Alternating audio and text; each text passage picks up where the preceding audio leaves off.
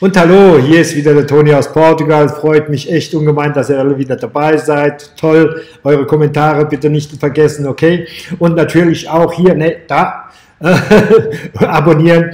Heute geht es um Tipps und Kniffe und Tricks vom, vom und im Leben tatsächlichen täglichen Leben in Portugal, okay? Ist klar, da gibt es unwahrscheinlich viel, hunderte vielleicht. Ne? Ich muss das halt in verschiedene Videos aufteilen. Hier ist das erste. Heute reden wir von Versicherungen, wir reden von lokalen Märkten, also Einkaufen in lokalen Märkten. Wir reden von äh, Öffnungszeiten der Geschäfte, die anders sind äh, als in Europa im Allgemeinen und uh, viele andere Aspekte, die wirklich wichtig sind im täglichen Leben, okay? Aber vorher noch ein ganz kurzes Intro. Das habe ich mir erlaubt als Spaß. Das kommt jetzt sofort.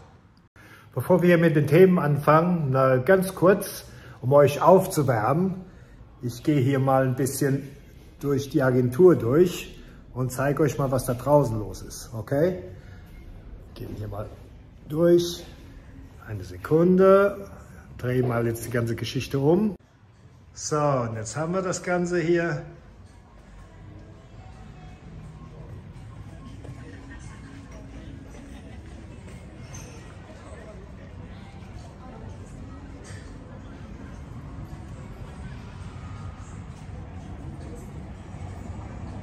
Ja, man soll es nicht glauben, aber es ist heute der 6. Oktober und es ist 29 Grad. Das ist halt Portugal. Ne? Ist doch mal was anderes. Ne? So, gehen wir mal rein und machen wir unsere Videos fertig. Ja, Tipps und Tricks. Und hallo nochmals. So, fangen wir gleich mal an mit dem Bankkonto. Bankkonto eröffnen. Ja, okay. Also, ihr solltet euch, sobald ihr euch in Portugal niedergelassen habt oder eventuell sogar bevor, vor eurer definitiven Niederlassung, ein Bankkonto eröffnen. Ja? Äh, das wird euch natürlich das Leben erleichtern, von Rechnung bezahlen und, und dass ihr überhaupt mal vor Ort die, die, die, das ganze Geld von euch verwalten könnt. Ja, okay? Also es sei gesagt, in Portugal gibt es 150 Banken, ja, äh, alle möglichen Banken, internationale Banken, sehr viele natürlich, inländische Privatbanken, Regionalbanken und auch Online-Banken, die mittlerweile auch sehr beliebt sind. Ja? Also hierbei solltet ihr darauf achten, dass ihr natürlich auf, auf die Gebühren, die letztendlich jede Bank äh, euch äh, abkassiert, äh, für die verschiedenen Service Bereiche, die sie anbieten. Eins davon ist natürlich die Debitkarte, also nicht Kreditkarte, sondern Debitkarte, das heißt die Karte, wo ihr letztendlich im Supermarkt bezahlt, eigentlich alles bezahlen könnt. Ja, also die Debitkarte funktioniert also bis zu 99.900 Euro könnt ihr mit einer Debitkarte bezahlen. Äh, und äh, ja, und das ist wohl der Punkt, wo je nach Bank die mehr oder wen, weniger Gebühren anfallen. Ja?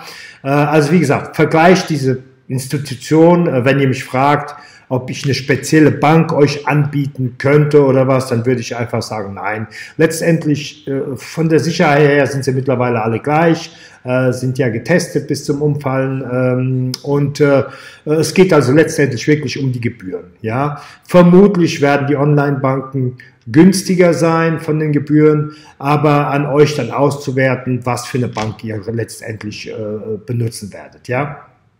Ähm, was für Dokumente brauchten ihr letztendlich, um eine, um eine, um eine um Konto aufzumachen. Ja. Übrigens, äh, viele Banken bieten diesen Service auch mittlerweile online an. Äh, ihr könnt also Dokumente quasi hochladen und dann wird vermutlich äh, nichtsdestotrotz äh, äh, bei manchen Banken dann eine Videokonferenz stattfinden müssen. Ja. Bei einigen ja, einigen nein. Ich meine, vielleicht ist es aber nichtsdestotrotz besser, wenn ihr vor Ort seid, dieses Konto aufmacht, dann lernt ihr gleich mal euren Bank Manager oder was auch immer kennen und äh, er lernt euch kennen, was ja auch immer ganz gut ist, wenn eventuelle Fragen aufkommen.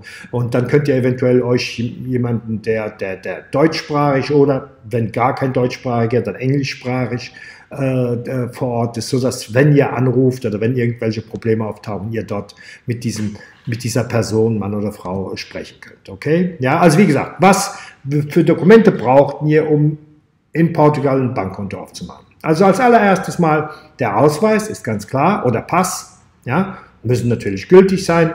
der eine oder der andere, das spielt keine Rolle. Ja. Dann ganz wichtige Sache, die ihr sowieso braucht für alles, was ihr in Portugal macht oder für viele Sachen, das ist die NIF. Die NIF ist die Numero de Contribuinte, das ist die Steuernummer, die portugiesische Steuernummer. Die muss also jeder haben, okay? Ja? Äh, diese Steuernummer äh, habe ich äh, übrigens auch irgendwann mal in einem von meinen Videos erklärt, äh, wo es um Hauskauf ging. Äh, die könnt ihr selbst machen, das heißt also zum Finanzamt äh, gehen und dort mit eurem Ausweispass und mit dem Wohnnachweis, spielt keine Rolle dabei, ob der Wohnnachweis hier in Portugal ist oder, oder, oder, oder im deutschsprachigen Raum. Auf jeden Fall muss der Wohnnachweis da sein, damit er eine dementsprechende Adresse zuordnen kann und ihr macht das dann selbst. Also ich weiß nicht, was es heutzutage kostet, vielleicht 10, 15 Euro, ja. Äh, in manchen Finanzämtern ist es so, dass man vorher Termin machen muss, ja. Also bitte aufpassen, äh, ob äh, ihr da einfach so reinspazieren könnt. Also ich werde es auf jeden Fall mal versuchen und dann weitersehen. Wenn die uns da sagen, nee, nee, ihr müsst einen Termin machen, nein, können wir gleich machen, nein, online, bla bla bla, okay, wo und so weiter und so fort. Ja, okay? Also wie gesagt, diese Steuernummer NIF oder Nummer de Contribuenti braucht ihr für diesen Zweck. Ja? Äh, was ihr vielleicht dabei haben solltet, weil die Bank je nach Bank, die haben das ganz gerne, ist vielleicht äh, äh Bankauszüge äh, der letzten drei Monate von eurer vorherigen Bank oder immer noch zuständigen Bank in Deutschland, Schweiz oder Österreich, ja, und äh, damit, das hat die Bank ganz gerne, die ziehen sich dann Fotokopien und dann haben sie wenigstens mal eine, eine, eine Historial, also eine Geschichte über euch äh, gelagert. Ja, ist also ganz, ganz interessant, das dabei zu haben. Ja, und dann ist je nach Bank eine Mindesteinzahlung von 500 Euro notwendig. Früher war es zwingend, heutzutage ist es je nach Bank. Also ich kenne Kunden, die haben nur mit 100 Euro ein Bankkonto aufgemacht, aber äh, geht einmal mal, einfach mal von den 500 Euro aus. Es ist so, dass ihr das Geld nicht unbedingt gleich dabei haben müsst. Ihr könnt auch dem Kunden sagen, dem, dem, dem, dem Bankmanager sagen, ich transferiere das Geld. Aber was dann passieren kann, ist, dass äh, euer, euer, euer Bankkonto dann quasi erst operationell wird, wenn diese 500 Euro eingetroffen sind. Wenn ihr zum Beispiel ein Bankkonto aufmacht und habt nicht alles dabei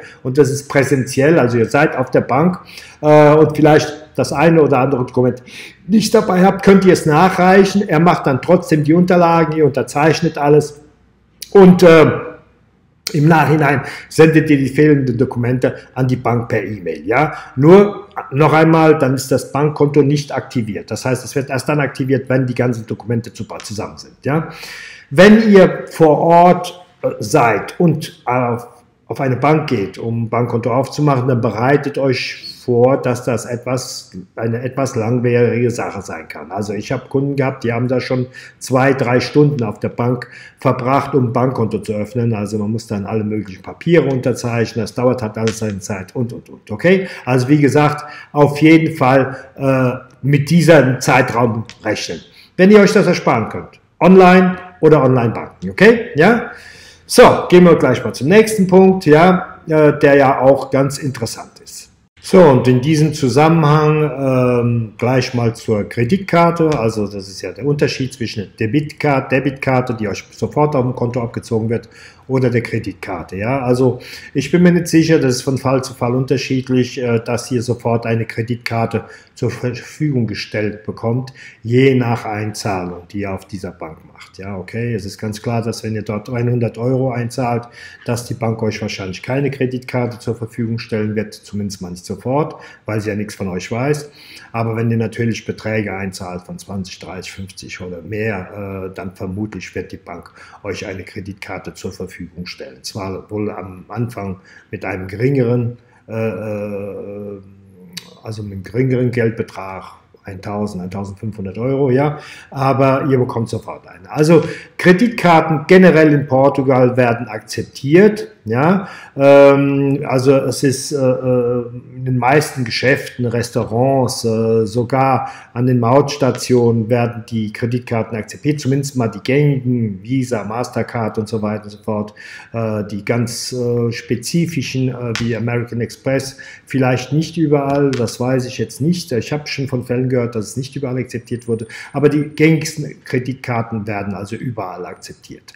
Nichtsdestotrotz solltet ihr zumindest mal für kleine Geschäfte und so weiter immer eine gewisse Summe an Bargeld haben. Die Portugiesen zahlen immer noch gerne bar, auch weiterhin. Oder wie gesagt mit dieser Debitkarte, ja, das ist so die zwei Wege, wo man halt normalerweise zahlt, wenn man ins Geschäft geht, ins Restaurant.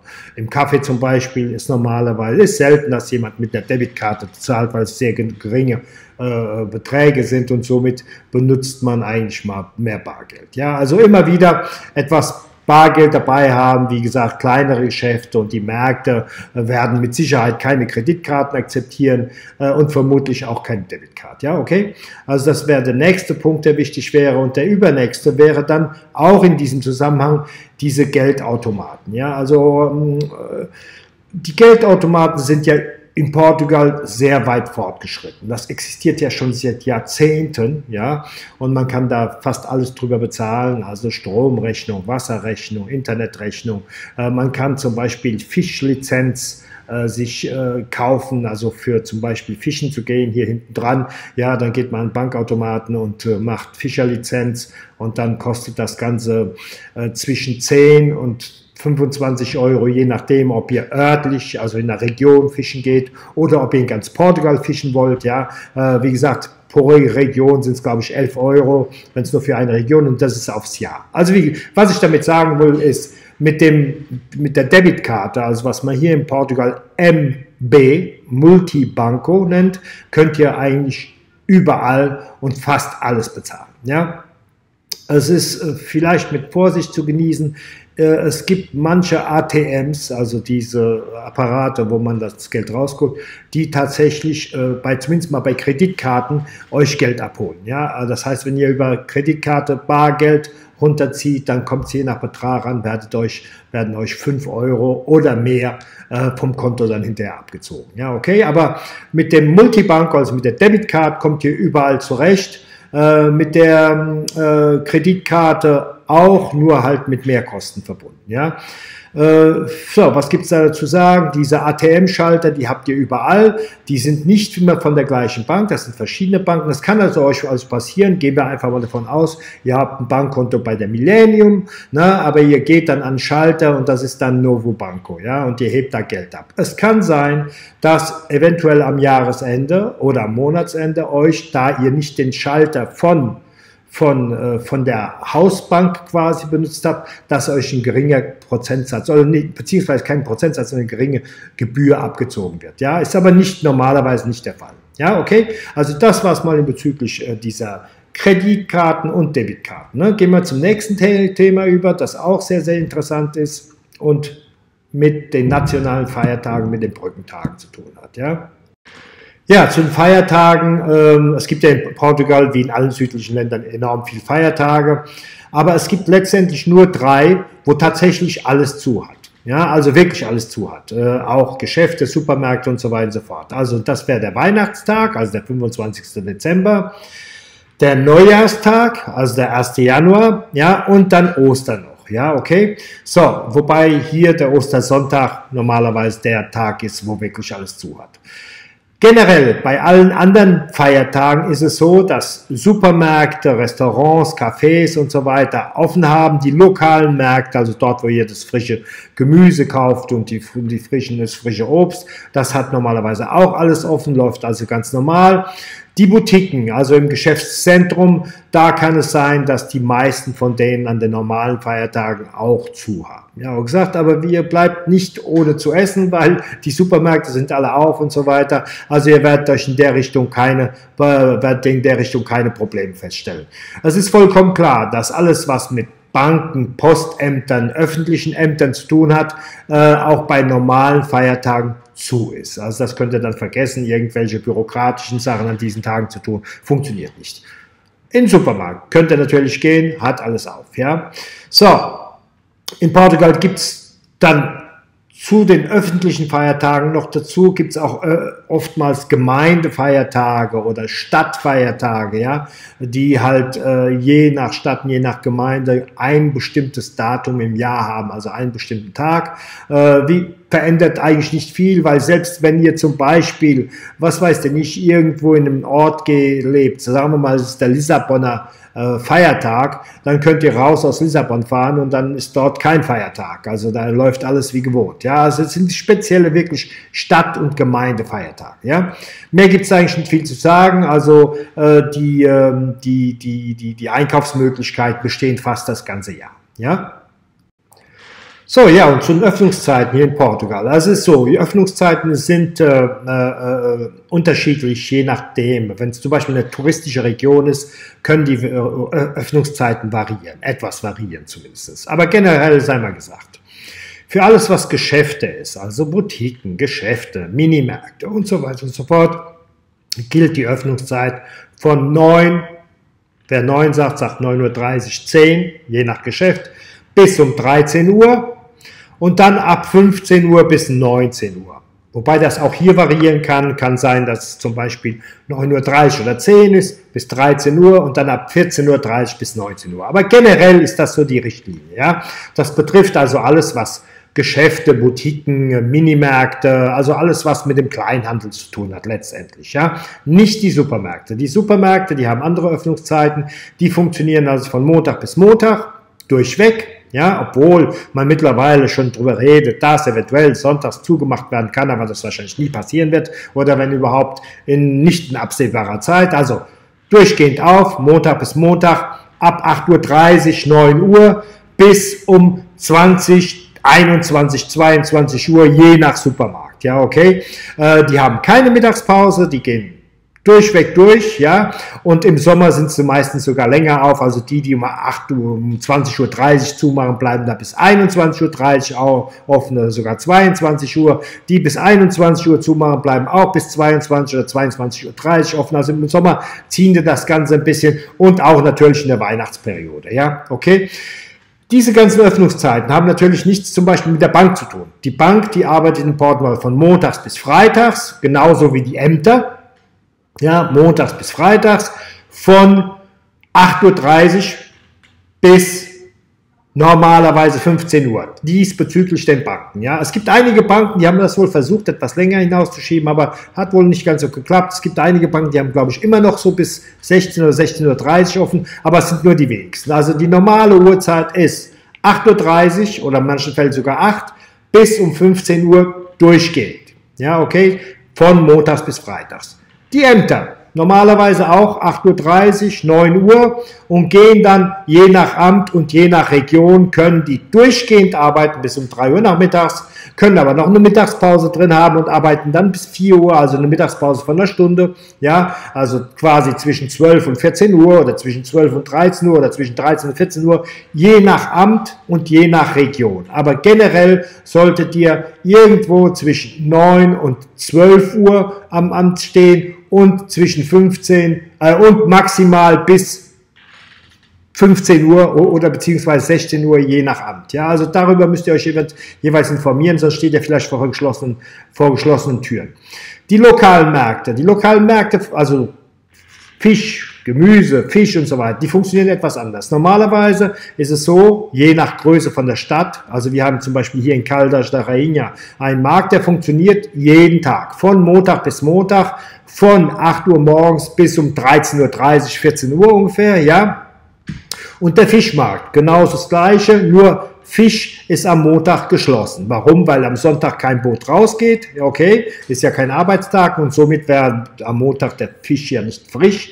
Äh, somit bleiben diese Fischmärkte geschlossen am Montag. Ja, wenn es Mischmärkte sind, also Gemüse, Früchte und Fisch, ja, dann ist es so, dass in der Fischabteilung wahrscheinlich niemand stehen wird und ihr nur Gemüse und Früchte zur Verfügung stehen habt und Käse und was weiß ich nicht. Okay, ja, so. Äh, in puncto kleineren Gemeinden, also Dörfern und so weiter, da gibt es ja oft diese Minimärkte und die Cafés. Also die Cafés haben normalerweise auch immer auf. Die haben vielleicht einen Ruhetag, ja, das kann unterschiedlich sein, aber normalerweise haben die durchweg auf, von sehr früh morgens, also 7 Uhr wegen Bäcker, wegen der Bäckerei und so weiter, von 7 Uhr bis um 19, sogar 20 Uhr. Es gibt sogar Cafés, die ich kenne, wo äh, morgens das Brot angeliefert wird, schon um 6 Uhr morgens und da haben die ab 6.30 Uhr auf, verkaufen auch gleichzeitig Brot und abends bekommen die noch eine Lieferung, so gegen 17 oder 17.30 Uhr und verkaufen dann auch nochmal Brot und bleiben dann bis 20, 21, 22 Uhr sogar auf. Ja? Aber das sind diese kleinen Gemeinden, die Minimärkte in diesen kleinen Gemeinden, die haben meistens von montags bis samstags offen, von, in der normalen Uhrzeit. 9 bis 13 Uhr, 15 Uhr bis 19 Uhr und dann samstags, je nach Geschäft, von 9 bis 13 Uhr nur, nur oder manche sogar von 9 bis 13 Uhr und dann nochmal 15 bis um 19 Uhr. Okay? Ja, das war's bezüglich den, den, den, den, Öffnungszeiten hier in Portugal. Also passt da immer drauf auf, damit ihr nicht vor die geschlossene Tür rennt. Ja? So, und da wir gerade von lokalen Märkten geredet haben, äh, ich würde euch also empfehlen, ich tue es auch, lokale Märkte zu benutzen. Aus drei Gründen. Erstens, ihr helft diesen Leuten, meistens ältere Leute, die da stehen und ihre eigenen Produkte verkaufen. Ja, also ihr helft diesen kleinen Agrikulteuren. Zweitens, die Qualität ist bedeutend frischer als im Supermarkt. Ja, und drittens, die Preise sind auch weitaus angenehmer als im Supermarkt. Ja, okay? Also drei Sachen, die absolut wichtig sind. Ihr helft den Leuten, dem lokalen System und gleichzeitig helft ihr auch eurem Geldbeutel. Eine kleine Ausnahme ist vielleicht der Fischmarkt. Also am Fischmarkt werdet ihr feststellen, vielleicht feststellen, dass gewisse Produkte teurer sind oder bedeutend teurer sogar als im Supermarkt. Das hat also einen Grund. Hier wird der Fisch direkt vom Hafen auf den Tisch gebracht und euch verkauft. Das ist alles, alles Fangfisch, ja, und Fangfisch hat nun mal halt seinen Preis, okay?